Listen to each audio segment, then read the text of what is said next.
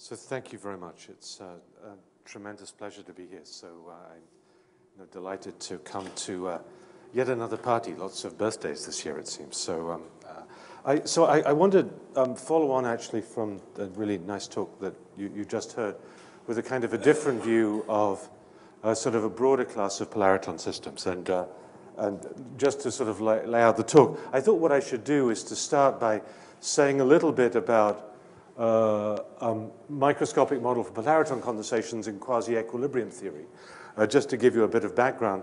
Because what I really want to talk about in this talk is uh, systems which actually have uh, uh, other interactions in them beyond the interactions that we classically think about with polaritons, nicely described. And so in particular, uh, there are many systems that one can make condensates of potentially, in effect, some which have been achieved, uh, which involve uh, quite strong coupling to the electron-phonon interaction. And there's a question about what that does. Um, uh, and in particular, can you condense into systems which actually have a phonon sideband? So if you have a strong coupling there, what, what would that mean? Um, and then I'd like to spend quite a bit of time talking about uh, cavity-coupled Rydberg atoms, uh, which have the interesting effect that in the excited states, uh, the excitons which you've created, or the Rydberg states of the atom, have strong and long-range interactions. Um, and because of long-range interactions, there's going to be competition between the kind of superfluid or polariton state that, that, uh, that, that, was ju just talked about in the last talk, and actually some kind of quantum crystal. And what might that look like? Um, you know, uh, so quick reminder, uh, without any worries about um, Copenhagen and, and, uh, and other statistical interpretations. Um, the kind of systems that we conventionally talk about are typically uh, 2D. You have uh, excitons which are uh, you know, typically confined formally to a quantum well or some array of quantum wells. Um, they're pretty much dispersionless on the scale on which the light modes in the cavity move. Uh, uh, you have a confined um, two-dimensional like photon mode, um, and by tuning the mirrors correctly, you can bring this photon mode more or less into resonance with those two. Um, and, uh, and, and that, that, of course, means that as uh, quantum mechanical objects, these two things, um, uh, if there's a dipole moment uh, to connect these, to mix these, then there's some splitting here, which is the Rabi splitting, which can be quite substantial in some systems. And as you've just heard, at least formally, um, ignoring uh, inelastic processes, decays, whatever. Um, and I will say, assuming the rotating wave approximation, which is actually critical because it means that uh, there's actually a conservation law built into the Hamiltonian. Uh, but but so, uh, so, so assuming that, and that's generally a good approximation but not exact, uh, then you have this kind of picture the polariton wave function is a mixture of exciton and photon, with that mixture depending on the detuning of the levels, so it varies enormously across here. Um, furthermore, the nice thing about the system is you get to look at the, uh, the occupation of these states, because the mirrors are not perfect, eventually the photon will, component will tunnel out, and you'll be able to observe an emitted photon, and if the mirrors are flat, the transverse momentum is conserved, and therefore the angle of emission can be converted into a momentum in here. Um, and the reason that, no, this goes back a long way, but the reason that this is interesting from the point of view of condensates is that down here you have a branch with a very light effective mass, uh, typically around 10 to the minus 4 of the electron mass. You also have um, a, roughly the characteristic coherence scale scales inversely with that. Uh, so relatively dilute gases down here um, can in principle have quite strong uh, onsets of coherence. Um, uh, so, you know, what have, what's been seen, uh, run through some experiments. Indeed, this is momentum distribution that you get to see by looking at the light. So this is a paper going back in 2006. Um, if you look for the, uh, um, if you look now for what happens to the dispersion of uh, that lower polariton branch when you go into uh, putative condensed phase, you begin to see something which looks quasi-linear as if a Bogoliubov spectrum. Uh, you can look at real space images and demonstrate coherence. seeing fringes, and uh, you can also see vortices. In fact, you can see half vortices because there's a polarization degree of freedom here as well, uh, and that's also locked by the transition. Um, uh, because it's 2D, you might expect to see power law correlations, uh, and you can find those. Uh, you can um, find ways of uh, setting up condensates that move, and here's a condensate moving, and there's some kind of object in the way here, and you can see going from superflow around the object to ejecting vortices and then solitons. And then you can do fancier experiments by uh, pumping pairs of condensates and having them coupled um, and looking at the dynamics of how that happens. So there's been quite uh, a lot of work, much more than this actually, which has happened really over the last decade. Um, uh, so uh, for what's useful, I, I, want to move a little bit um, onto theory space about how I like to think about these. And I will say right at the start that I don't like to think about polaritons as particles, and I'd like to explain why. Uh, and it, not for the same reasons you heard in the last talk, although I agree with that also. Um, uh, it's actually the fact that there are very strong renormalizations of the exciton and photon component in this. And I rather like to think about models which actually have both degrees of freedom explicitly. So let's imagine, you know, just as a theorist, that you have a bunch of dots um, coupled in a cavity, and each dot can have an exciton or not.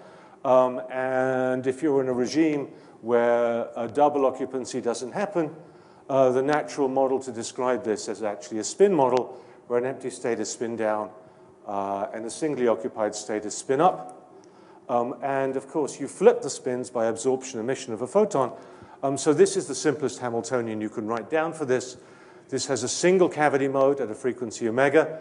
In principle, there's a dispersion, there's a set of modes. There should be a k index on here, but it doesn't matter. This is the energies associated with these, uh, uh, the, the, these, these, spins. Um, typically, there's very little dispersion in here. Uh, there may be quite a bit of disorder, so it's often useful to think about this in a kind of a site-based index. Um, here is the Rabi coupling between this, um, and this is the, uh, uh, the interconversion term, as I say, written in the rotating wave approximation. And a consequence of writing it in the rotating wave approximation is that the uh, total number of excitations is conserved. Um, if you go outside the rotating wave approximation, and that actually begins to be important in very strong coupling, um, th then you, you need to be a little bit more careful with that. Okay? Um, there's a parameter in here which I call n, but it really is simply associated with the fact that the wavelength of light is very big, and the size of an exciton is of order the Bohr radius or whatever the trap it's in, and that's very small. And so typically there are a large number of exciton states which are available within a wavelength of light. So n is a very large number. Um, so as a theorist, when you see this Hamiltonian, when n is large, you know what the ground state is. Uh, it's a coherent state. It's just a large n limit uh, uh, of this. Um, and so here is a you know, generic coherent state, coherent state of photons. This is a coherent state of spins. Uh, you know, if you turn spins into fermion pairs, you get something which looks exactly like BCS. Um, and you can also go through the standard BCS style argument with all of this, and you get a transition temperature which depends on the coupling constant and, and uh, generically on the density of states. Um, uh, so, um, so, so this, this, is what the mean field theory looks like. Um, uh, you can know, follow that mean field theory, you know, do that mean field theory to find out doping. And so this is uh, you know, concentration. This is the number of, uh, the total number of excitations. We don't know whether the excitations are photon-like or uh, exciton-like. Um, uh, you start off with a lower and upper polariton branch. Uh, as you add particles to the system, we hear at a finite temperature. Here's the chemical potential. Chemical potential rises. Um, at this point, it hits the bottom of the band. Um, and at that point, the spectrum renormalizes uh, you, the upper polariton starts to push up, the chemical potential clamps, you get coherent light emission associated with this. So this is a, this is a uh, condensate appearing here. And then there's, of course, a ghost branch that, that comes down here. Okay. Um, Uh, built into the model, by the way, of course, is a parameter which we tend to call detuning, which is the difference between the photon frequency and the exciton frequency. Okay? And so, uh, and, and, here I've had them tuned together. Um, it's uh, worth discussing what happens when you uh, tune the photon mode way above the exciton. Then intuitively what happens when you do that is that you're going to have excitons coupled by virtual transitions through the photons. Um, and as that happens, you actually get a model which is kind of more familiar from Bose-Hubbard. Um, you get the appearance of Mott lobes. But let me just go through sorry, this rather busy view graph um, about you know, what happens as you detune. So if we start with, so here I'm just plotting the chemical potential which sits in the polariton band, again, as a function of pumping. Um, and if you look down at the bottom, I've broken the wave function up. And because this is, by the way, this is a coherent state, so this is entirely classical. Um, I'm in the sort of coherent state limit here, at least in the theory. And so here what happens is that the exciton co computation is here, and the photon curve is up here. Um, and what you see is that they sort of run in parallel. Um, but after a while, of course, you can't put too many excitons into the system, so it saturates, but the photon numbers are allowed to grow without bounds. Um, as you start detuning, um, uh, what happens, of course, is that the uh, ground state becomes more exciton-like and less photon-like. But interestingly, if the detuning exceeds a critical number, which is actually 2, uh, something odd happens, uh, the exciton number grows and grows and grows because, of course, the photon is far above it and you're filling mostly exciton states.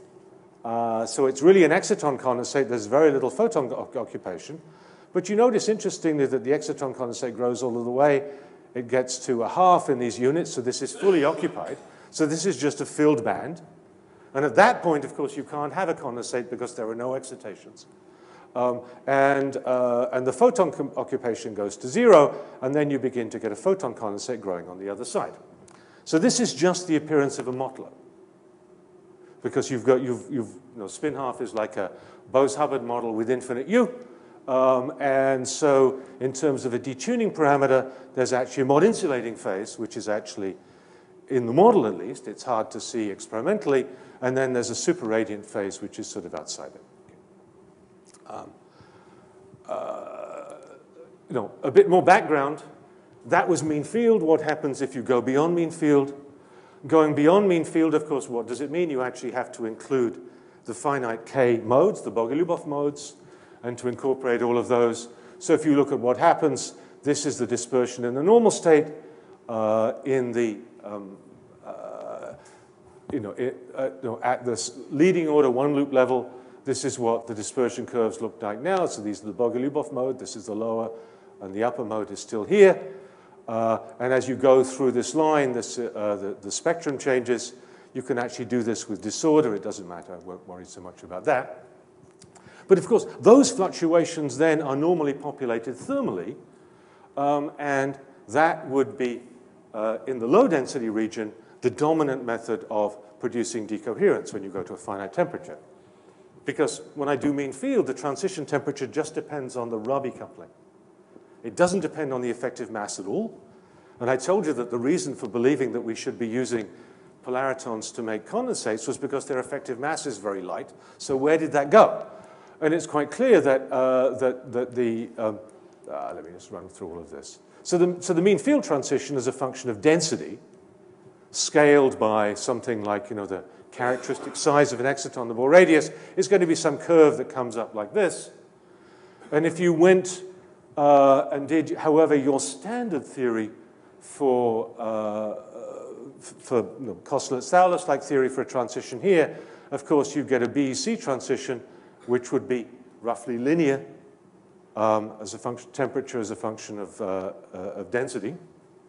Um, so down here in the dilute limit, of course, you're dominated by uh, uh, phase decoherence associated with the uh, acoustic modes. But once that transition temperature exceeds the coupling constant, you're dominated by decoherence associated with thermally populating the upper polariton mode. So where's that crossover? Um, interestingly, in these experiments, well, this line is very steep because the effective mass is very small. So the scale is roughly determined by taking the binding energy of the exciton, the ratio of that to the Rydberg coupling. So this is a number which is of order 1. Uh, sometimes it's bigger than that, sometimes it's of order 5. But then there's an effective mass ratio, so, so this number typically turns out to be about 10 to the minus 4. So only very dilute systems are in this region. Um, and it's actually very hard to do experiments in this region. Most experiments are uh, in that range. Okay. Um, so that's an argument, by the way, for, uh, for, for, a theory which is, of course, based on long-range interactions, which is then uh, very stable, essentially close to a coherent state. And taking that one step further, that provides a justification for what everybody does in practice, which is to use Gross-Pitaevskii in these systems. Uh, so the, um, and you can add to this, of course, decay processes which allow things to decay into the bath and things to come back in. And what that does in the end is it adds lifetimes to the quasi-particles and gives you a damped-driven Gross-Pitaevskii equation to describe the dynamics of all of these systems. And that, that is uh, often the most effective way to describe real experiments. So, how am I doing? Um, started a little late, so I'm I'm going to keep going. Uh, I'll keep this piece in. Okay. So that was really just intended to be a bit of background. Um, and um, now I want to talk about uh, you know, some, some recent stuff we've done on, on two separate problems. Um, one, some work actually with Jonathan Keeling's group um, uh, uh, on what happens if you've got systems with strong electron-phonon coupling. So why might that be interesting? Well, no, let me just describe the model I want to talk about. I'll call it Dicke-Holstein. Um, so it's the same one we saw before. There's a cavity, there's an exciton, there's a Rabi coupling. But in particular, I want to think about systems which may be made with Frenkel excitons on organic molecules, and there are uh, uh, many systems which are like that, which can also be put into cavity couples. Organic molecules typically have, uh, can have very large Rabi couplings. Uh, but they also typically have very strong uh, local phonon modes. So, so there's, and so I've added in here just a local uh, Holstein coupling on the mode. Um, and the parameters that describe that are, of course, the frequency of the phonon and some dimensionless coupling strength. Okay? Uh, so, um, and as you know, if you have uh, an exciton um, coupled to, that's ignoring the photon, um, the effect of this is that the exciton will develop sidebands associated with adding and subtracting phonons. Uh, so rather than have a single set of, uh, of excitonic modes, I've got excitons with sidebands. And I've got all of those sidebands, and the question is, can you have condensation into a phonon replica? Okay. Um, so uh, the, the way we've treated this is to do essentially a mean field treatment for the photons um, uh, on, you know, uh, arguing that that's a reasonable thing to do because of the very long wavelength and the long, um, and the long range coupling. But we do numerical diagonalizations on the phonon. So you can break this up and you can just diagonalize the, the, the, the phonon states and work through that. So what happens?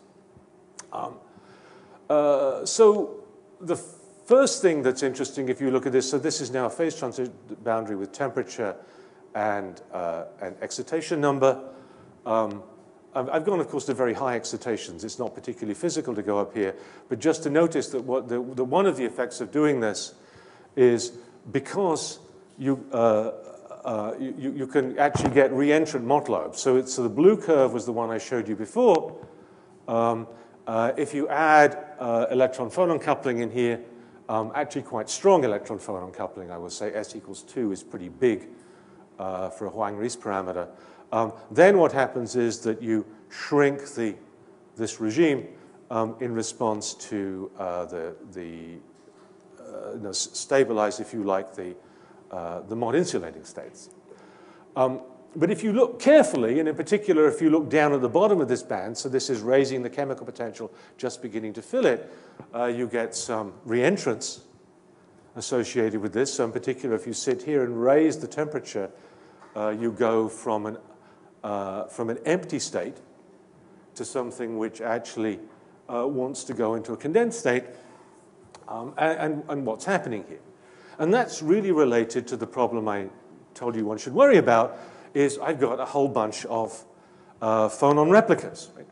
And of course, at a finite temperature, I have phonon replicas which exist below the exciton line because I can steal a phonon, a thermally occupied phonon from the system and use it to dress the exciton. So I can go on the anti-Stokes side at finite temperature, and that's actually what's happening here.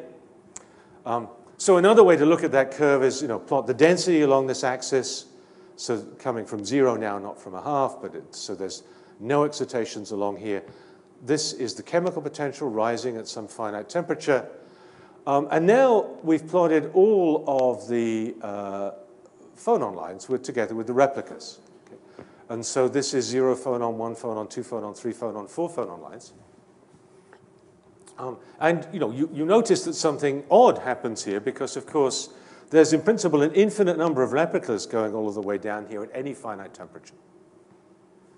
Uh, uh, you know, they're bosonic in some sense. Uh, so the chemical potential seems to, however, to go through them.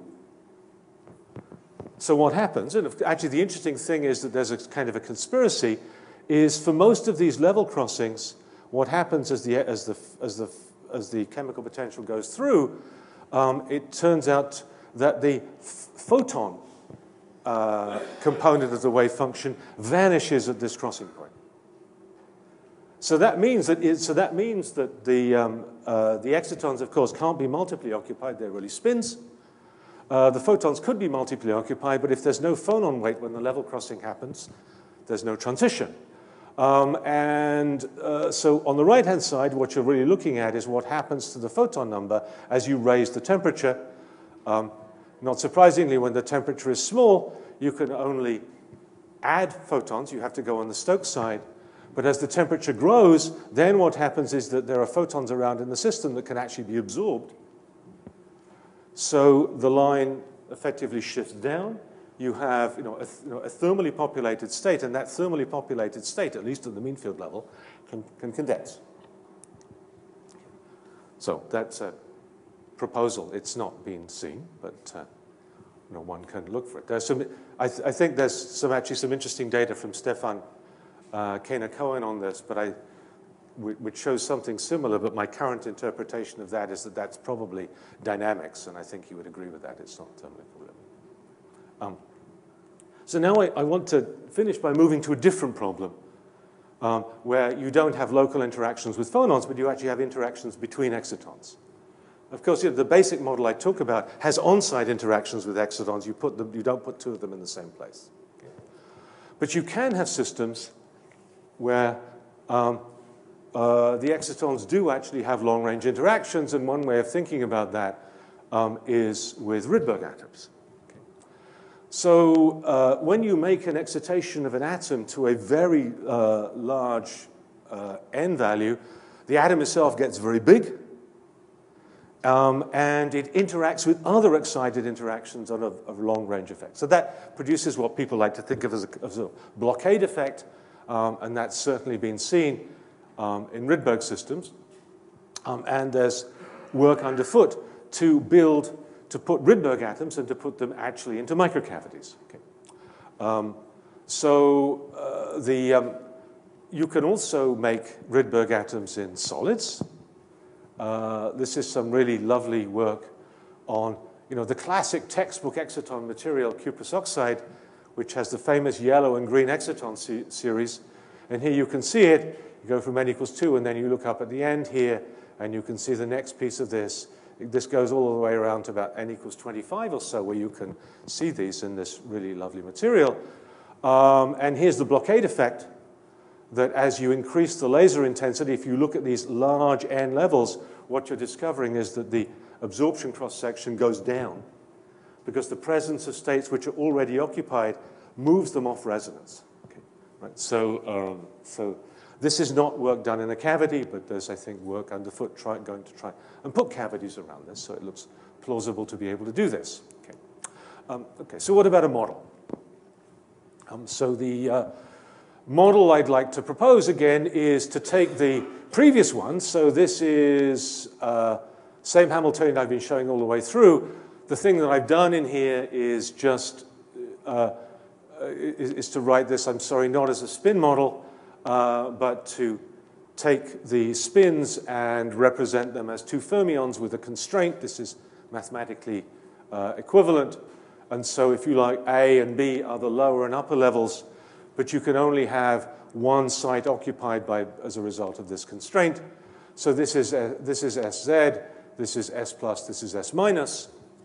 And then what we're going to do is that we're going to add an interaction in the upper state. So the upper A state, if it's occupied, uh, then there's interaction. There's no interaction, if, of course, if the system is not occupied. Okay. Um, and uh, because I'm not smart enough to solve the general problem, um, I'm going to mostly simplify by talking about a, a, lattice model with nearest neighbor interactions and then generalize it to long range. Okay. But the kind of things that you would think about here, if you just look at this, is now it's quite clear that there's a possibility of a of you know, an instability of the superfluid state, because the superfluid state, superradiant state, assumes that the excitations are spread out, spread out across all of the system. And there's an alternative state which would take the same number of excitations and put them one at a time per blockade radius and produce some kind of crystal. Okay? Uh, so, uh, so there has to be some kind of transition about this to try and understand this. A few technical points, right?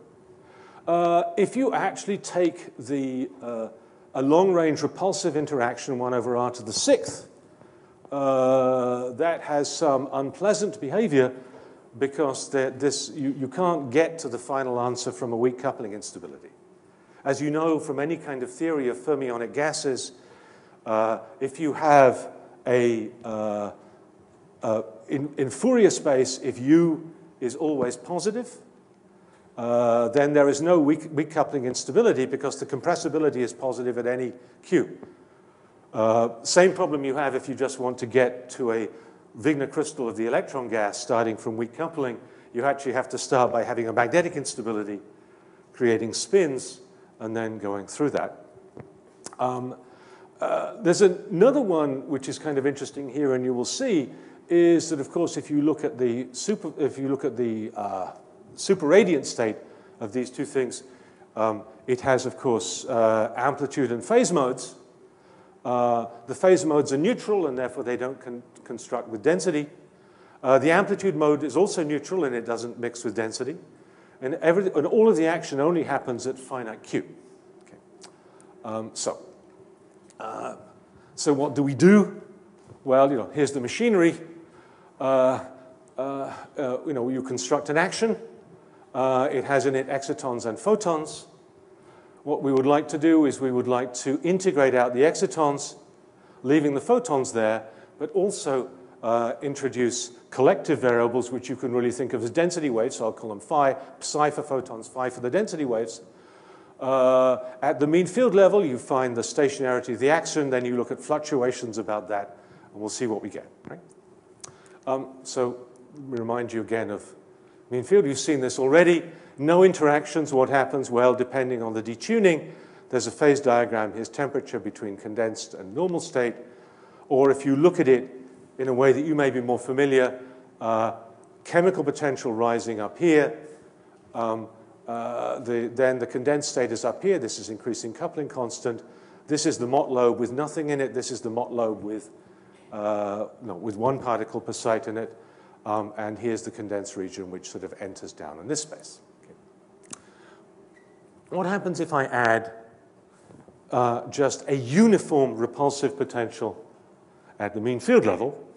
Um, then uh, what actually happens is that you split the Mott lobes.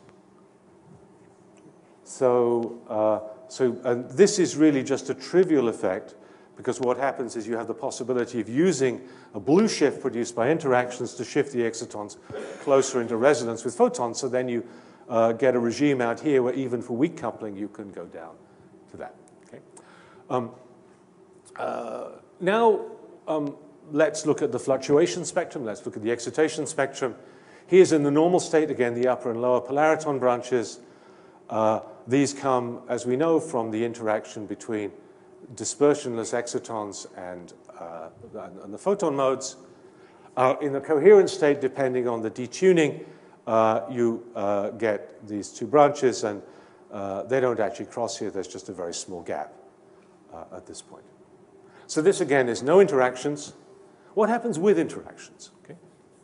Again, at the mean field level, well, it turns out in the normal state, the excitation spectrum is completely unmodified.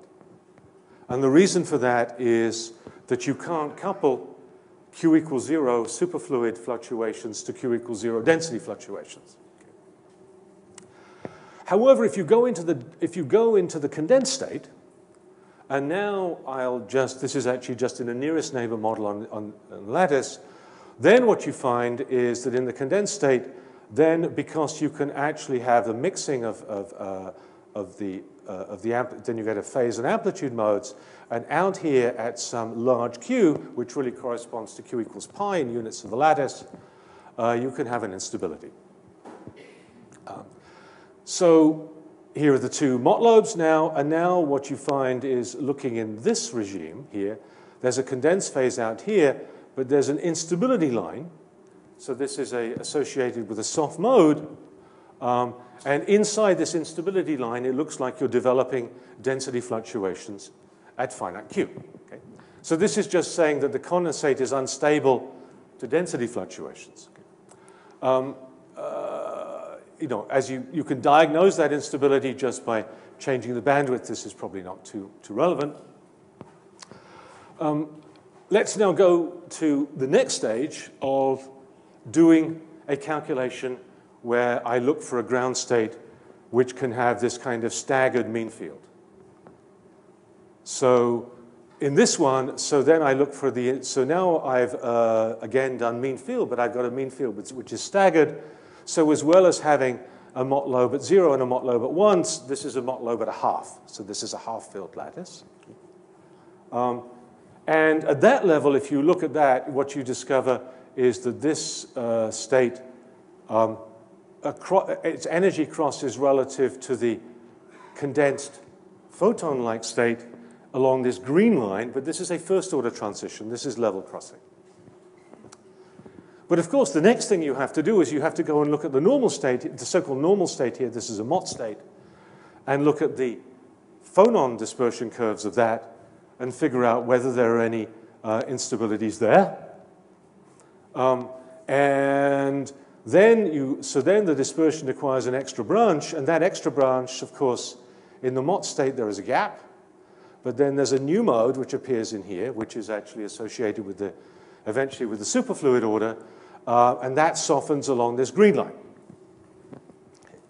So what have we got? So at this, so at this level, um, we have a mean field analysis for the normal state, a mean field analysis for the condensed state, and they seem to be stable in here. Along the green line, you have a point where uh, the Mott state develops an instability to a photon superfluid order. And on this purple line coming in, you have a point where the photon ah, coherent state develops an instability towards charge order. Good, thanks, I'm close. Uh, so at this level of approximation, one has in between this some kind of supersolid. Uh, you know, just to check that there are no particular artifacts about looking for the order, you can do a generalized variational Monte Carlo to allow the order to develop on different points, and that more or less confirms this. Uh, the next thing one might do is to start adding long-range interactions, and as you add longer-range interactions, what do you expect to get on a lattice? Well, you expect to get some kind of devil's staircase, and indeed you begin to reproduce that. Uh, so you get a self-similar branch appearing in here. This is yet another piece of a Mott lobe which is appearing down here, but this is one half, this is two thirds, and in principle there's a whole bunch of things which are sort of down there. Okay. So, um, it seems that at least on a lattice, uh, um, one has a possibility of uh, phase with both superfluid and charge order. Uh, there are now three acoustic modes in it. There's two sound modes and one Bogoliubov. Uh, it has two amplitude modes. It has an upper polariton and a charge density wave amplitude mode. Um, the amplitude modes mix and the sound modes don't, but it's not a gauge theory. There's no Higgs-ish stuff here. Uh, and maybe this is a cold atom version of niobium diselenide, which is one of these things which has a mix of this. But I don't know whether this phase continues to be present without the lattice. And I think there's a sort of big open question about whether that really makes sense. This is very much built in uh, to the lattice model. So the last slide, but two, because I have some more things to say. Uh, no, just to thank, you know, over the years, all of the people who, uh, who, uh, worked on this, uh, you know, many colleagues that we've collaborated with, particularly the work that I just showed you uh, was done um, by, let's see, I've lost them, Jonathan Keeling and Justyna Cwik, who I seem to have lost off this list. That's embarrassing. Uh, uh, and Sahinur Reja um, uh, on the organic materials, and most recently on Rydberg atoms with a, with a graduate student in Chicago, Alex Edelman. So I'm, I'm done with this piece of the talk, but I have, but I have a remark or two. Um, uh, because th this is a birthday. So Erio, I'm afraid you've seen this. So, the, the, so Erio knows the punchline. Um, but but uh, because I used it on him last year. So there's a very famous speech in, well, many famous speeches in Shakespeare, but one is about the seven ages of man. And I think there are really seven ages of physicists, actually. Uh, you know, the, the, there's the, you know, the infant, you know, sort of kind of show and tell. Uh, as an undergraduate, you know, the schoolboy who was sort of dragging to school, carrying his satchel, and that's really, of course, the graduate school. Um, then there's the lover, uh, presumably assistant professor at that stage. Um, can imagine somebody as lover, I did this right. Then, of course, there's the soldier, the full professor charging forward, you know, bombastic, all of those. And of course, what happens after that? What happens after that, of course, is the distinguished professor. Uh, so, as you said, the distinguished professor is the fifth age. And actually, what did Shakespeare have to say about this age? The justice, in fair round belly with good capon lined, somebody who likes their food, uh, happens to all of us. Um, eyes severe, well, it is in this one, not so much in that one, but certainly a beard of formal cut. Uh, and uh, full of wise saws and modern instances. Uh, so I wish you a very extended fifth age, because sixth and seventh aren't really so great. But there's nothing about how long this should last. And so, indeed, I wish you uh, indeed another 60 years of uh, great contributions to science. So, thank you very much. Thank you.